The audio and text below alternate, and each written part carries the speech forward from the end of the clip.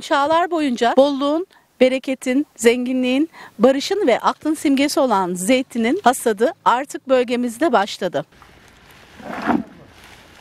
Neredeyse tüm kutsal kitaplarda ismi geçen en kadim ağaçlardan birisi olan zeytin ağacı Aralık ayının sonlarına doğru artık hasadını vermekte. Ege demek zeytin demek, zeytin demek Ege demek elbette. Zeytin ağacı demiş ki siz yokken de buradaydım, siz gittikten sonra da burada olmaya devam edeceğim. Ben Erol Nokta, Ödemiş Sanayi Site İşletme Kooperatif Başkanı.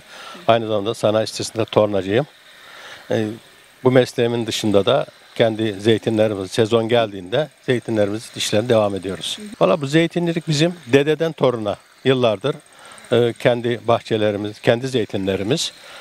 Biliyorsun yılda bir kere kış mevsimi geldi bu zeytin hasatı başlıyor. Bunları silkiyoruz, işte yağlarını sıktırıp değerlendiriyoruz. Bu sene verim bazı bölgeler çok güzel. Bölge bölge bazı bölgelerde az ama genelde de e, iyi diyebiliriz yani. Ama zeytin hasatı şöyle bir yıl verim oluyor, bir yıl olmuyor burada. Bunun nedeni de bu zeytin sırıkla silkildiği için sırıkla vuruyorlar, silkiliyor. Ağaç yıpranıyor. O yıprandığı sene zeytin vermiyor. Bir yıl sonra daha güzel zeytin oluyor. Ama şimdi teknoloji ilerledi. Yani göreceksiniz bak e, elemanların elinde görüyorsunuz. Yeni zeytin silkme makineleri çıktı. E, Bunlar sayesinde hem daha güzel ağaç fazla yıpranmıyor ve zeytin iş daha hızlı kaçıyor ve biraz daha da e, zeytin hasatı her yıl yavaş yavaş olmaya başladı yani. Bizim bölge yağlık zeytin. Yani Edremit taraflarında sofralık zeytin o tarafta hep sofralık yapılır. Bizim burada yüzde 90 diyelim. Hani yüzde 10 gene sofralık olabilir ama yüzde 90 yağ zeytindir. Yağlık zeytindir bunlar. Yağ zeytini, çekişte derler mesela. Çeşitli isimleri var onların. Ama buralar hep yağ zeytini. Zeytin işçilerinden Müjgan Tekbaş şunları kaydetti. Yaprağını temizliyoruz.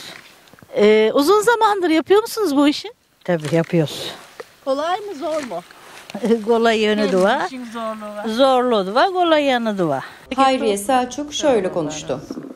Ee, zeytin topluyorsunuz. Şu anda zeytinler silkelendi. Ağaçtan indi düştü.